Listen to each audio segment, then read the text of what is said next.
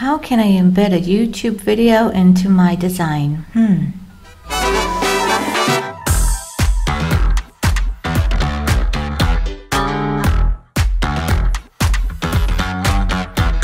Hi, I'm Hadass and welcome to Tip Talk. In this episode, I'd like to show you how easy it is to embed a YouTube video or any other video into your design. Let's jump in. In this video, I'd like to show you how simple it is to embed a YouTube video into your design.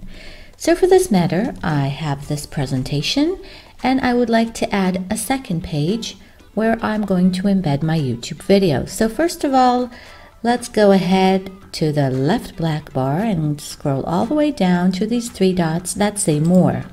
Once you click on that, you will find two options to embed your YouTube video.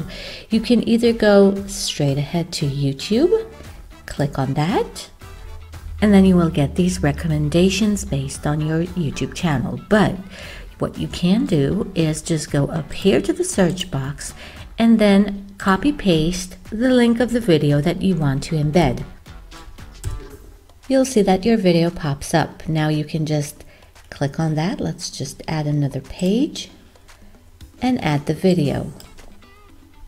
Once I click on the video or drag it, it is automatically added to my presentation. Now I can either stretch it to have it fill all the way up to my presentation and it will play automatically if I share this as a presentation or a website. I can also resize it, add a title, add a background. Can also go to elements and search for a screen element. And let's say, for example, I'll take this one. And although this is not a fillable frame because my video is not an image, I can just position this to the back and then resize my video so it'll fit in my screen. So let's say something like this. I can change the color of the background of my screen. Let's say something like this.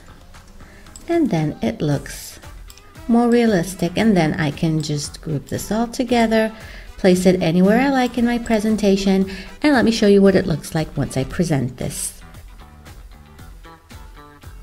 And there you go. All you have to do is click on the play button and the video will automatically play. Hi, I'm Hadass and I'm super excited. Now the second option would be to scroll back down to more and this time we're going to click on embeds. Once we click on that, you have the same search bar up here and you can see all sorts of other resources that you can embed videos from.